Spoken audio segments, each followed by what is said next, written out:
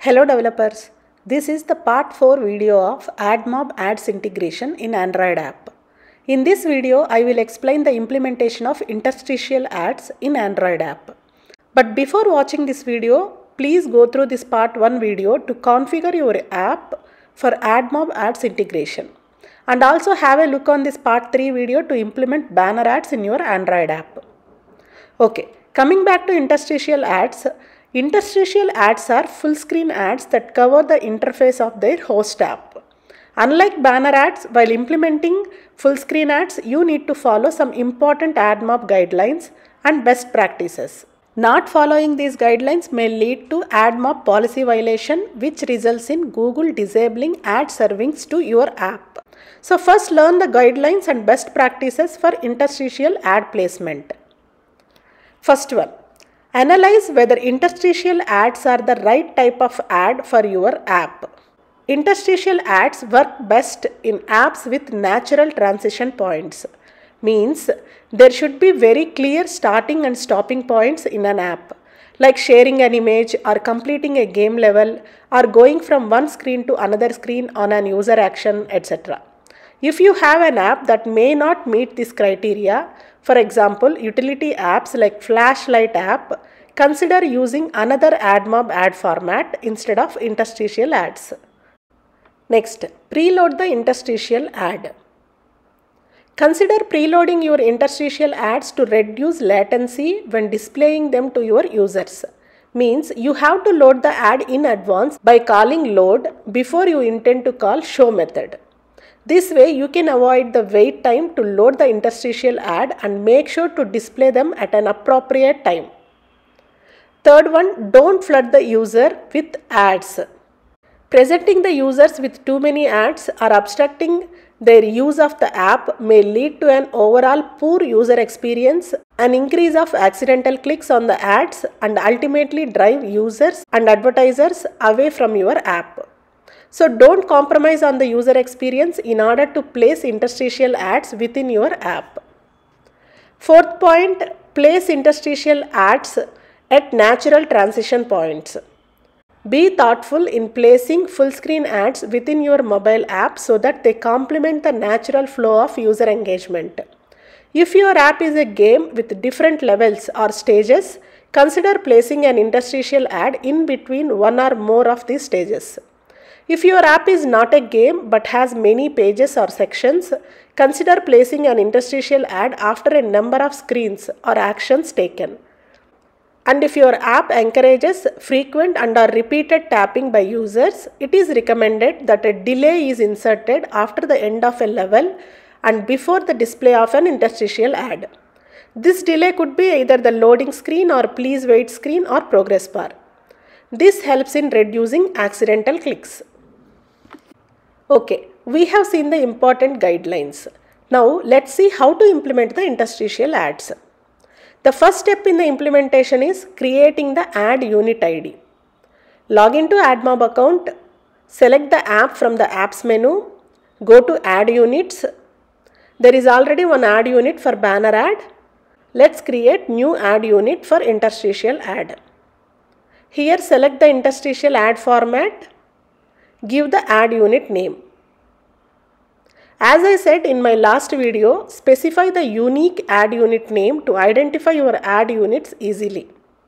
Here I have specified interstitial camera launch because I am implementing this interstitial ad on clicking the camera button. Now click on create ad unit. Ad unit ID is created. Now click on done. Yes, we have created the ad unit for interstitial ad. Now let's see the implementation part. This is my app. I have already implemented the banner ads. Now I want to implement the interstitial ad in my app. So first check whether the interstitial ads are right choice to implement in your app. If yes, then carefully analyze where do you want to place the ad. I want to place the ad on clicking this camera icon where user is taken to this camera activity screen. Okay, before start coding, first check whether you have completed these configurations in your app. Adding dependency in modules build.gradle file. adding GMS application ID in manifest file, and initializing the mobile ads SDK in the main activity. If you have any doubts on these configurations, please watch this video and complete the mobile ads SDK configurations in your app. Once configurations are done, let's go to implementation part. Open the activity or fragment in which you want to handle the interstitial ad. As per the guidelines, we need to first load the ad. So create a method to load the interstitial ad. Inside this method, first create ad request variable. Ad request dot builder dot build. Now we need to load the ad. So call interstitial ad dot load. Specify the context. This is for ad unit ID, ad request and the interstitial ad load callback. Select the callback methods, click OK. Now let's set the ad unit ID parameter. You can add a final static string variable inside this class or add a string resource variable to set the ad unit ID. By doing this you can have all the ad unit IDs in one place. It will be helpful while changing the test ad unit IDs to actual ad unit IDs after testing and when publishing the app. Okay, copy this interstitial ad unit ID and place it here. Also add the test ad unit ID.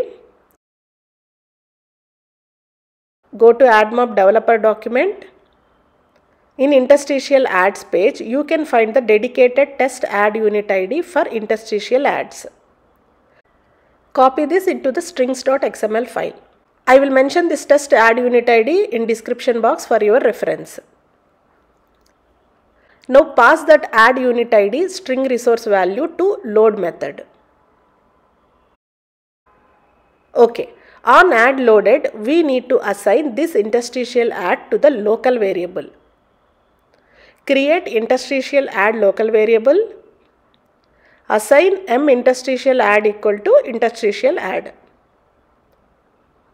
On ad fail to load, set the interstitial value to null. Yes, load interstitial method is done.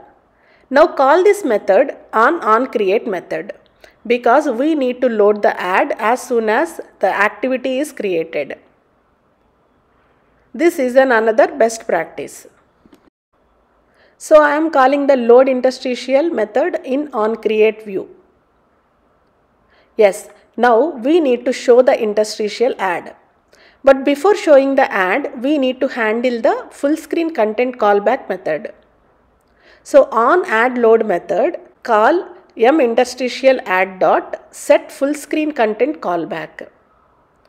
Okay, new full screen content callback. Select all these methods and click OK. This callback method is called when user click on the ad. If you want to know the user click rate, then you can write your own logic here. Second, on ad dismissed full screen content. This is very important callback method because on dismissing or on closing the ad, what do you want to show the user? You are going to write the logic here. On ad impression is called when an impression is recorded for an ad and on ad showed full screen content is called when ad is shown. Next, on ad failed to show full screen content is called when your ad was loaded but was failed to show. So then you need to set the ad reference to null. And on closing the ad also set the ad reference to null to avoid displaying the ad second time again. So in this method we are loading the ad on ad load getting interstitial reference and on on dismissed we are setting the interstitial reference to null. Now let's display the ad. I want to show the ad on click of this camera button. So on click of camera button if interstitial ad reference is not null then call interstitial ad dot show method. And if it is null, open the camera activity and try loading the interstitial ad again to show it on the next time. So the implementation part is done. Now let's test the app. Run the app.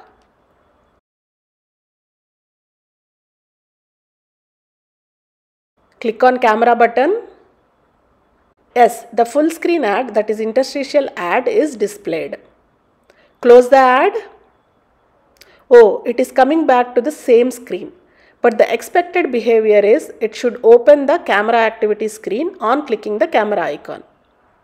So on dismissed full screen content, we need to call open camera activity. Okay, now run the app. Click on camera icon. Ad is shown. Dismiss the ad. Yes, camera activity is displayed. Now come back and again click on camera icon. Activity is displayed because the interstitial ad reference is null. And now it gets loaded. If you come back again and click on camera icon, again the full screen ad is shown.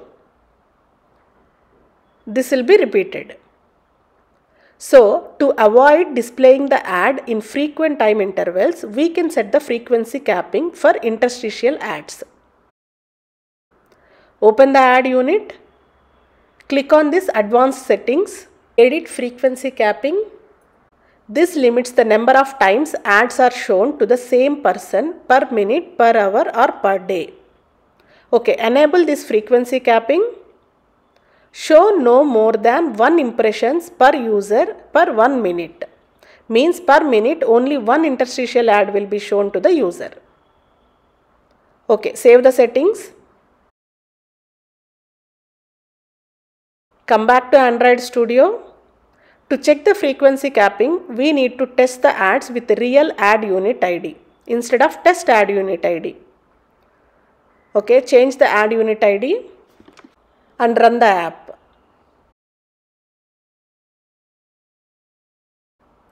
Click on camera icon. Okay, ad is displayed, but it is showing test ad only because the emulators are automatically configured as test devices. Now close the ad. Camera activity is shown. Come back and click on camera icon once again. See the ad is not showed again because of the frequency capping. Okay, let's wait for a minute. After a minute, click on camera icon.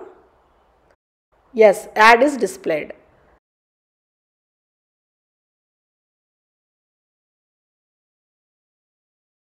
Okay, let's test this on device also. Let me connect my device over Wi-Fi. If you want to know how to pair your device over Wi-Fi, then please watch this video. Okay, my device got paired. Let me enable physical device mirroring also. Okay, it's already enabled. To understand the physical device mirroring, watch this video. I will give these links in the description box. Okay, now let me run the app on my real device. App launched. Click on camera icon. Yes, the real ad got displayed. Now close the ad.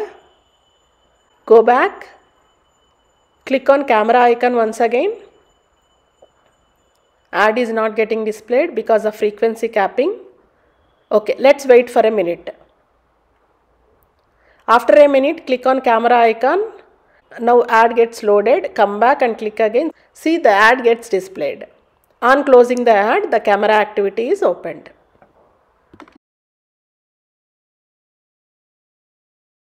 So to implement interstitial ads, first load the ad on onCreate method. On ad loaded, take the reference into local variable and on dismissing the ad, set the reference to null and take the user to the respective activity which user wish to see on closing the ad. Finally, call the ad show method on identified breakpoint or on user action. For example, in my case on click of camera button. Hope you understood the correct way of interstitial ad implementation.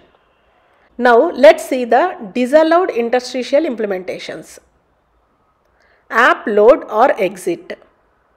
You should not place the interstitial ads on app load before even showing the main screen on the app and also on exiting the app. If user click on device home button or on back button or explicitly closing the app, at that time interstitial ads should not be displayed. Means ads should not be placed outside of the app environment. Next, recurring interstitials. If user chooses an action, you can display an ad, but on closing the ad, displaying another ad is not allowed. It leads to bad user experience. Next one, interstitials that impact navigation. Ad should not be placed on every user action. Avoid showing interstitial ad while user is interacting with the app's core content and functionality. If you keep showing the ads every time user clicks within the app, then user ends up deleting your app. Next, interstitials that unexpectedly launch. Many developers will be facing this issue, unexpected launch interstitial policy violation. This is because most of the developers try to show the ad immediately after loading the ad. This is wrong. When the user is trying to do some action on home screen and suddenly the full screen ad appears, obviously this leads to accidental clicks and often creates a frustrating user experience. So, interstitial ads should only be implemented at logical breaks in between your app's content. For example, between pages, stages or levels. Next, interstitial launches after page load. Even though you may intend for the ad to load in between page content, the ad itself appears shortly after a new page of content has loaded. This is due to carrier latency. To prevent this, you should preload the ad in advance. And on user action, show the preloaded ad and on closing the ad, take user to the next page. So this is the only recommended way of implementation to avoid AdMob ad policy violations. Even I have received this policy violation for one of my apps but I rectified it and uploaded a new version again. If you want to know how I solved the policy violation in my app, watch this video. I will give the link in the description box. Hope you got the clear idea on interstitial ad implementation, best practice methods and the disallowed interstitial implementations. If you think this video was helpful, please comment, like the video and subscribe to iRekha Tech Solutions. Thank you.